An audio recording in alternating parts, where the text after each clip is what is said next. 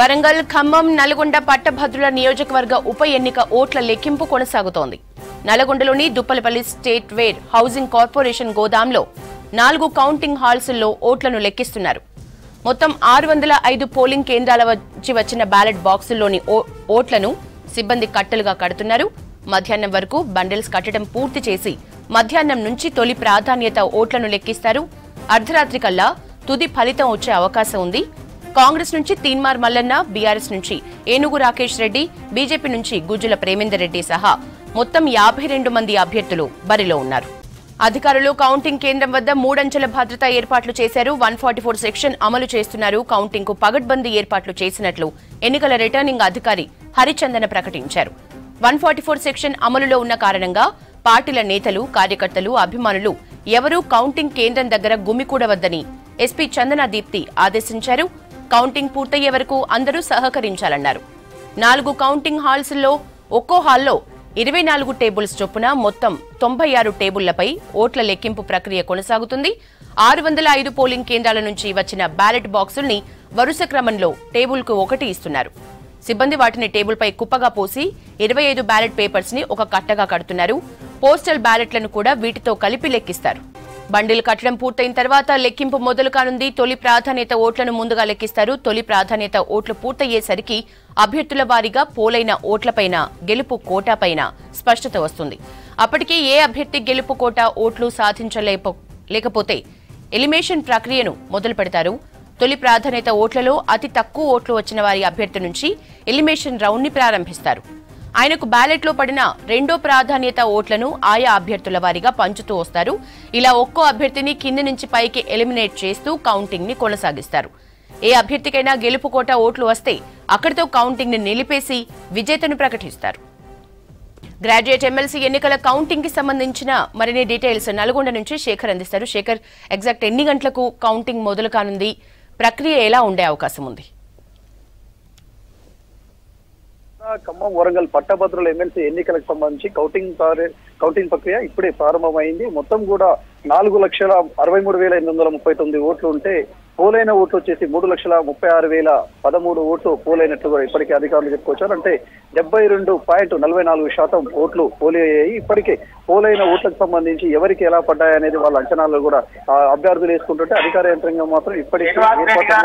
ఇక ప్రధానంగా కూడా ఒకసారి చూస్తే నల్గొండ ఖమ్మం వరంగల్ పట్టభద్రుల ఎమ్మెల్సీ ఎన్నికల్లో యాభై రెండు మంది అభ్యర్థులు పోటీలో ఉన్నారు. దాంట్లో కాంగ్రెస్ పార్టీ నుంచి తీర్మార్ మల్లన్న బీజేపీ నుంచి గుజ్జల ప్రేమేందర్ రెడ్డి అదేవిధంగా బీఆర్ఎస్ నుంచి ఎన్గోల రాకేష్ రెడ్డి అదేవిధంగా ఇండిపెండెంట్ అభ్యర్థులుగా అశోక్ గౌడ్ జక్సన్తో పాటు మరికొంతమంది ఇండిపెండెంట్గా పోటీ చేశారు. వాళ్ళంతా కూడా ఎన్నికల ప్రచారం అయితే చేశారు. ప్రతి ఓటును కూడా చాలా కీలకంగా పరిగణించారు. వారికి ప్రతి ఓటును కూడా ఓటు బ్యాంక్ వరకు రప్పించుకొని ఓట్లు వేయించుకునే ప్రయత్నం అయితే చేశారు. ఇక ఎవరి భవిష్యత్ ఎట్లా ఉందనేది వాళ్ళ బ్యాలెట్ పేపర్లో సాగి ఉన్నది. ఈ మొత్తం కూడా కౌంటింగ్ ప్రక్రియ పూర్తయ్యే వరకు దాదాపు మూడు రోజులు అయ్యే అవకాశం అయితే కనిపిస్తున్నది. ఇప్పటికే ఏర్పాట్లన్నీ కూడా చేశారు. ఈ మూడు జిల్లాలకు సంబంధించి ఎన్నికల రిటర్నింగ్ అధికారిగా నల్గొండ కలెక్టర్ దాసరి హరిచందన వ్యవహరిస్తున్నారు. అయితే మొదట ఏవైతే టేబుల్స్ బెండలు కట్టే ప్రక్రియ అయితే కొనసాగుతుంది మొత్తం ఎట్లా ఉంటుంది ఏంది మనతో పాటు మాట్లాడేందుకు? అభ్యర్థి అశోక్ గౌడ్ ఉన్నారు ఒకసారి మాట్లాడదాం. మరి బండెలు కట్టే వ్యవహారం కావచ్చు ఆ ప్రక్రియ కౌంటింగ్ ప్రక్రియ ఎట్లా ఉంటుంది?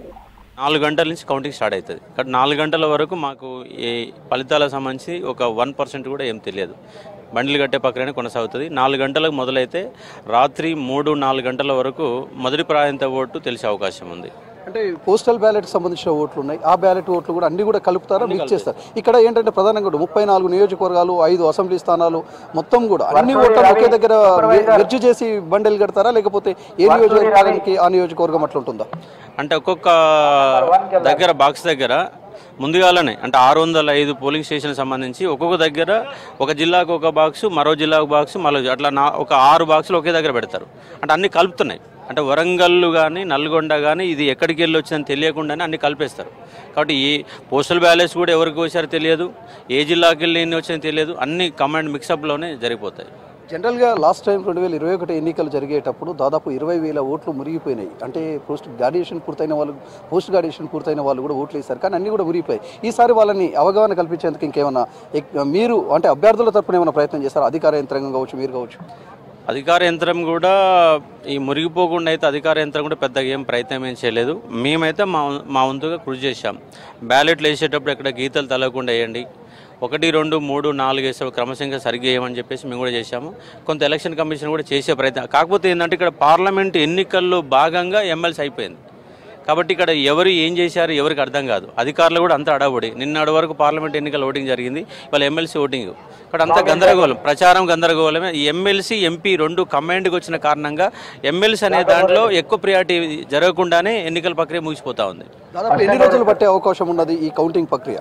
అంటే పోయినసారి యాభై ఆరు టేబుల్స్ ఏర్పాటు చేశారు. ఈసారి తొంభై ఆరు టేబుల్స్ కాబట్టి ఫార్టీ ఎయిట్ అవర్స్లో మొత్తంగా అంటే రేపు సిక్స్త్ నైట్ ట్వెల్వ్ వరకు చేరే అవకాశం ఉంది. ఇంతకు ముందే మూడు రోజులు పట్టింది. ఈసారి రెండు రోజులు కంప్లీట్ అయ్యే అవకాశాలు ఎక్కువైతే కనబడతాయి. అభ్యర్థిగా మీరు ఆ నిరుద్యోగుల తరఫున కొట్లాడిరు తిరిగిరు కదా. ఎట్లా ఉండే పోలింగ్కు సంబంధించి మీకు ఎట్లా- ఎట్లా అక్కడ అట్మాస్ఫియర్ ఎట్లా కనిపించింది ఆ ఓటర్లను కలిసేటప్పుడు? అంటే ఓటర్లు అంటే నేను ప్రధానంగా నిరుద్యోగులను ఎక్కువ మంది కలిశాను. ఆ తర్వాత కొంత ఉద్యోగులను కలిశాను. అంటే వాస్తవంగా ఏంటంటే ముప్పై నాలుగు ఎమ్మెల్యే నియోజకవర్గాలు ఐదు ఎంపీ స్థానాలు ఎవరిని కలవడం కుదరదు. నేను మొత్తంగా నాలుగు లక్షల అరవై వేల ఓట్లలో డైరెక్ట్గా కలిసిన ఒక మహా అయితే ఒక పదిహేను వేల వరకు నుంచి ఇరవై వేల వరకు ఉంటుంది. అంత తప్ప ఎవరు కూడా కలవరు. నేనే కాదు ఎవరు కూడా కలవలేము. ఈ యొక్క సోషల్ మీడియా ద్వారా వ్యక్తి యొక్క గుణగణాలు తెలుసుకొని ఓటేసే కాన్సెప్టే తప్ప ఎవరిని కూడా ఓటర్ని కలిసే ఒక ప్రయత్నం జరగదు. కాబట్టి ఇక్కడ సామాజికంగా గత పది సంవత్సరాలుగా ఎవరెవరు ఏం పని చేశారు? వాళ్ళ వ్యక్తిత్వం ఏంటి? వాళ్ళు నిజంగా పోరాటం చేయగలుగుతారా? మాట్లాడే సత్తా వాళ్ళ కాడ ఉందా లేదా అని అన్ని అన్ని అంశాలు పరిగణలో తీసుకొని ఓటేస్తారు. కానీ నిరుద్యోగులు అయితే ఏకపక్షంగా అశోక్ సార్కి అయితే మద్దతుగా ఉన్నారు. నిరుద్యోగులు అంటే ఒక డెబ్బై ఎనభై వేల లక్ష మంది నిరుద్యోగులు ఉంటే వాళ్ళు ఒక్క ఓటే కాదు. వాళ్ళ ఫ్యామిలీ ఓటు మొత్తం నాకు వేయించారు కానీ దాదాపుగా నాకైతే మెజారిటీ మంచి మెజారిటీ గెలవడానికి అవకాశం అయితే ఎక్కువ శాతం అయితే నాకు ఉన్నదని భావిస్తా ఉన్నా. ఇది జనరల్గా ఎమ్మెల్సీ ఎన్నికలకు సంబంధించి మూడు ఉమ్మడి జిల్లాలు అదేవిధంగా సిద్దిపేటలో కూడా కొన్ని కొన్ని మండలాలు ఉంటాయి. ఓవరాల్గా చూస్తే మాత్రం ముప్పై నాలుగు కాన్స్టిట్యున్సీలు ఐదు అసెంబ్లీ స్థానాల్లో ఎన్నికల ప్రచారం అయితే చేశారు. ఓటర్లు ఎక్కడ అంటే నియోజకవర్గానికి దాదాపు ఇరవై వేలు ముప్పై వేల మంది మాత్రమే ఉంటూ ఉంటారు. సో వాళ్ళందరినీ కూడా డైరెక్ట్గా కలవక కలవడం కుదరదు కాబట్టి వీళ్ళ యూనియన్లు కావచ్చు స్టడీ హాల్స్ కావచ్చు ఏవైతే అదేవిధంగా కమిటీ హాల్స్లో ఎవరైతే స్టూడెంట్స్ కూర్చుంటారో అదేవిధంగా ఉద్యోగుల సంఘాలకు సంబంధించి వీళ్ళ ద్వారానే ఎక్కువ కూడా ఎన్నికల ప్రచారం చేశారు మీటింగ్లు అరేంజ్ చేశారు వాళ్ళకి కావలసిన పనులు చేయబోయే పనులు కావచ్చు చేసే పనులు కావచ్చు ప్రతిదీ కూడా వివరిస్తూ వీళ్ళ ఎన్నికల ప్రచారం జరిగింది. ప్రధాన పార్టీలకు సంబంధించి మాత్రం కొంత యాక్సెస్ ఎక్కువ ఉంటుంది. వాళ్ళు ఎక్కువ మీటింగ్ అటెంప్ట్ అటెంప్ట్ చేయడం అదేవిధంగా వాళ్ళు గవర్నమెంట్కు సంబంధించి కావచ్చు గతంలో చేసిన పనులు కావచ్చు ఇట్లా వివరిస్తూ ముందుకు సాగుతున్న పరిస్థితి అయితే జరిగింది. కానీ ఎవరి భవిష్యత్ ఎట్లా ఉందనేది ఈ కౌంటింగ్ ప్రక్రియ ద్వారా తెలియనుంది. మధ్యాహ్నం మూడు గంటల తర్వాతనే ఏదైతే వెండల్ కట్టే ప్రక్రియ అయితే ప్రారంభమవుతుంది. గతంలో యాభై యాభై కట్టేవారు.